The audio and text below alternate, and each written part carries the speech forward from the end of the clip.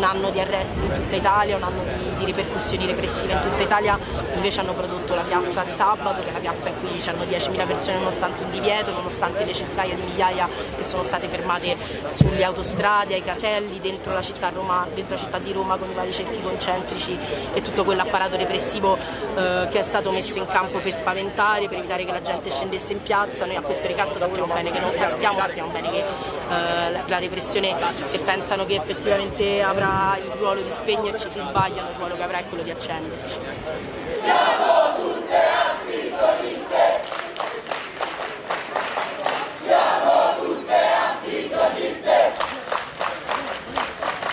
Siamo tutte antisioniste! che questa cosa avvenga l'8 ottobre, quindi proprio a distanza di, eh, di un anno da, eh, dall'inizio del genocidio in Palestina, questo sia veramente uno schiaffo a eh, tutte quelle migliaia di persone che in questo anno si sono mobilitate nelle proprie città e chiedendo lo stop, il cessate il fuoco, lo stop del genocidio.